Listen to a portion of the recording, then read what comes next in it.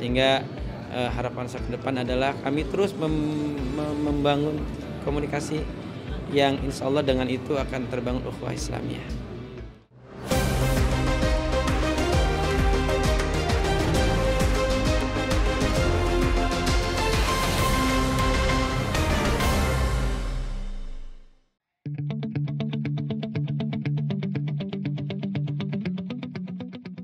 PCLDI Kecamatan Limo menggelar acara bertajuk Mutiara Hikmah pada tanggal 16 April 2023 bertempat di DKM Baitul Malik B.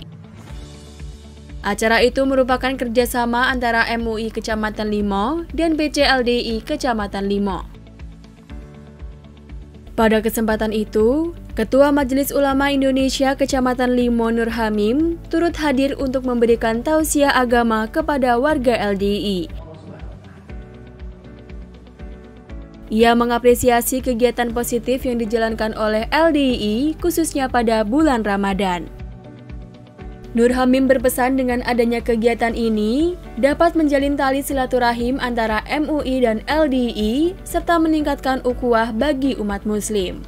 Namun alhamdulillah kami bertiga dengan teman-teman di Lembaga Dakwah Islam Indonesia PC Kecamatan Limo ini uh, terus membangun komunikasi supaya uh, terbangun ukhuwah yang lebih baik.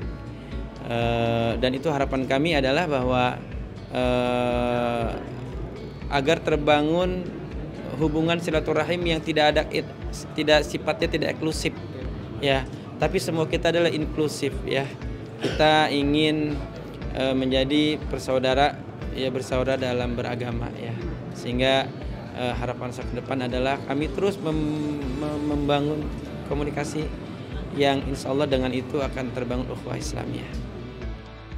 Sementara itu, Ketua PCLDI Limo Triman Santoso mengungkapkan rasa syukurnya atas kehadiran Ketua MUI dan memberi tausiah kepada warga LDI khususnya PCLDI Limo.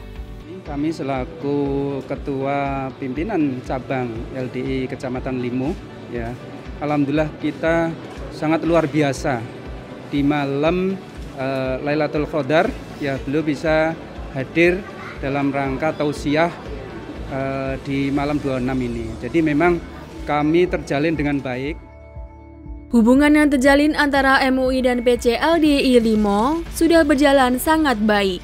Keduanya terus berkolaborasi dalam kegiatan positif yang diharapkan dapat menciptakan kerukunan serta kekompakan dalam mewujudkan ukhuwah Islamiyah.